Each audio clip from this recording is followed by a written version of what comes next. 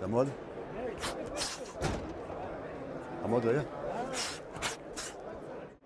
תעזוב. תפוס לי.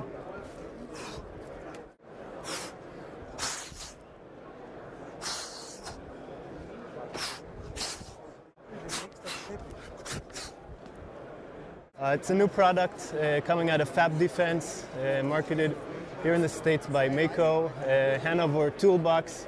And basically, it's a self defense tool. Very straightforward, very discreet.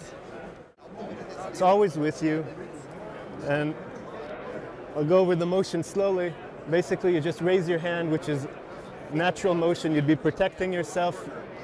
Raise your hand, thumb goes right under here, and it's ready, and it's out.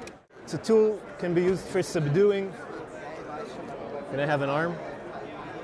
We can do, we can do pressure points. See, it's not sharp. We can trap, press, move around. Uh, coming soon to Fab, follow us there.